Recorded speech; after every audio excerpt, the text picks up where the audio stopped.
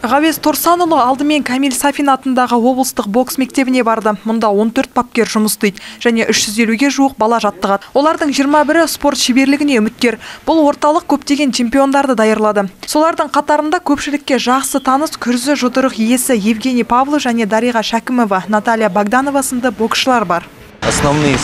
Бұл жерде біз өңіріміздегі ең басты бокс және кикбоксинг турнирлерін ұйымдастырамыз. Сонымен қатар спортшылардың оқу жаттығу жиындары да осында өтеді. Петропавлда бокс үйірмелері олимп спорт клубында олимпиадалық резерв мектеп интернат колледжінде және жеңіс спорт мектебінде бар. Яғни бұл жерді қоса алғанда қаламызда бокспен айналысуға арналған төрт орталық бар. Бокс орталығының жұмысымен танысқаннан кейін өңір басшысы велосипед спортынан олимпиадалық резервтің мамандандырылған балалар жасөспірімдер мектебіне барды. Бұл орталық 26 жылдың ішінде 40 спорт шеберін тәрбиелеп шыққан мектепте 10 бапкер бар. Олардың төртеуі жоғары санатты жаттықтырушы.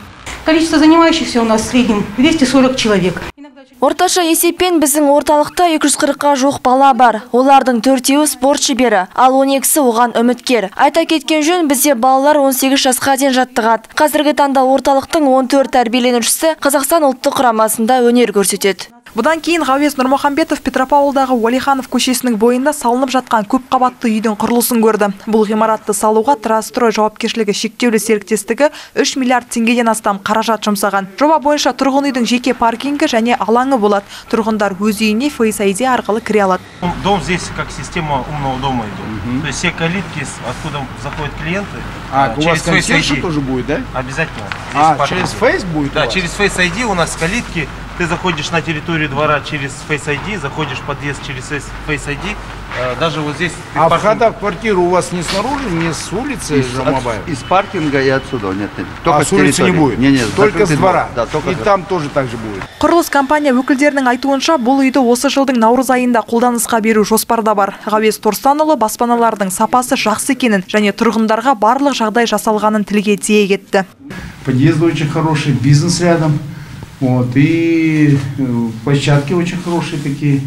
Вот, и на каждом этаже у вас получается такая вестибюльная зона очень хорошая, да? Обязательно. Вот, здорово. Место для колясок есть для людей, Абсолютно, да. Есть это, кладовые есть. Кладовые. э, э, Полностью будет видео сидеть человек на охране, который будет и паркинг, и периметр полностью. да? И очень удобно для людей. То, что вход не снаружи, не с улицы э, Уальханова, да, а то, что с паркинга и с, Площадки, площадки. Құрылыс нысанынан соң облыс әкімі Петропавл жоғары құрылыс экономикалық колледжіне барды. Білім ордасында 11 мамандық бойынша 1145 студент білім алады. Колледж директорының айтуынша оқу орнын тәмамдаған түлектердің 97 пайызы жұмыспен қамтылған. Вы знаете, в 2021 году э, был такой проект «Жасалман». Өзіңіз білетіндей 2020-2021 жылдары жас маман бағдарламасы өткен болатын. Оған біздің өңірдің 9 колледжі қатысты. Бұл оқу орындарына жалпы 2 миллиард 400 миллион теңгеге жуық қаржы бөлінді. Соның арқасында білім мекемелері өздерінің материалдық базасын жаңартты. Ауыл шаруашылығы колледждеріне жаңа техникалар сатып алынды.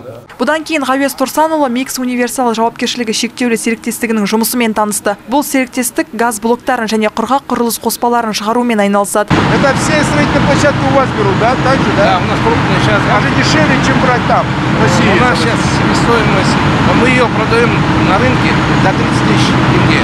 В Астане Альянс Экатон продает за 32. С доставкой это 5 тысяч тенге, это 37-38 тысяч. Мы то есть снизили здесь.